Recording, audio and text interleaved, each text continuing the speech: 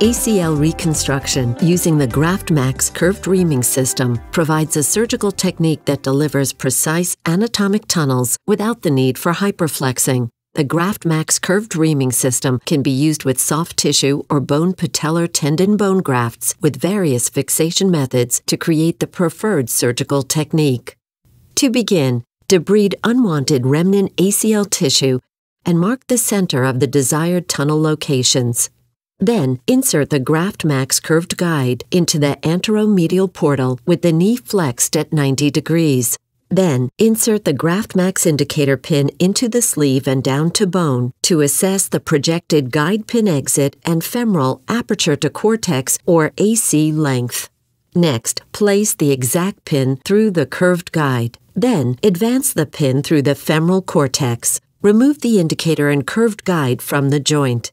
Pull back on the flex exact pin, hooking the head on the cortex to confirm the AC length. Then, advance the flex exact pin out through the skin laterally. Next, insert the GraftMax Flex Sentinel Reamer over the flex exact pin, keeping the cutting flute away from the femoral condyle. Advance the Flex Sentinel to ream the femoral socket. Then, remove it from the joint, making sure to keep the blade oriented away from the condylar surface. Next, advance the GraftMax Flex channel reamer through the lateral cortex. Then, remove the reamer, leaving the Flex exact pin to position a passing suture.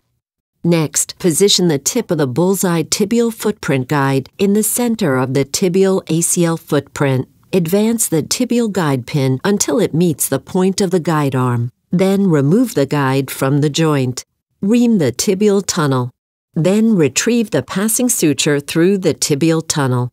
Load the top white suture limb and both green suture limbs of the XO button into the passing suture. Pull up through the knee so that all three suture tails exit the skin. Keep tension on the trailing white suture limb so that the knot engages with the button, keeping it vertical. Advance the button and graft through the bone tunnels by pulling on the green suture until the button is positioned on the cortical surface. Cycle the knee with tension on the graft. Then set the knee at the desired flexion angle. Cut the white suture below the knot. Then insert the Genesys Matryx interference screw in the center of the graft bundles and advance it into the tibial tunnel until flush. And unthread the green suture from the button.